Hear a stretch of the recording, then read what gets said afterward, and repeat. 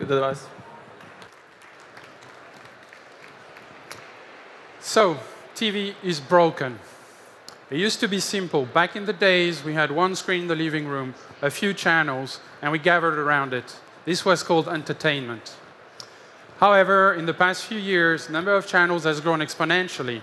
And what we've seen is it created a very confusing situation for consumers. Now TV is a mess.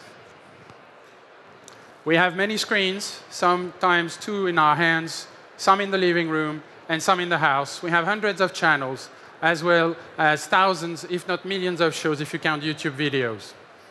That creates a situation where we believe a massive opportunity exists. With the advent of the internet and the mobile business, we have the chance to fix that area and build, rebuild television as it pretty much should be. I'm Roman, co-founder of Utelly. Utelly is the mobile application that helps consumers find what to watch, whether it's on live TV, on demand, on catch-up, and on YouTube. In one place, we aggregate all the content that people can watch, and we make it accessible through their mobile phone. The mobile phone becomes both the browser and the remote control. The journey is like so. A user opens up the app and sees what's live on television right now, sees recommendations based on their age, gender, and profile, as well as what's trending on social networks. We overlay the on-demand services, which are pretty much available every time.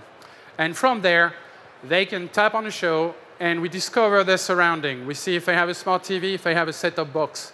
And at the tap of their hand, the show appears on the TV, it's for live TV, or we play on the device by deep linking into the mobile application. As a. As a company, we raised $1 million of seed fund last year. We built a team of six people from mobile professionals of YPlan, Badoo, and OpenText. We spent a few months building the product that covered the entire UK market, and we launched it at the end of September. To date, we've had short of 20,000 downloads, with extremely active users.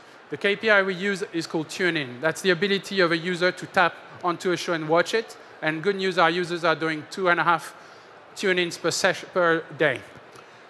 Where we make money is we help consumers get to the content, and that relationship can be monetized by businesses.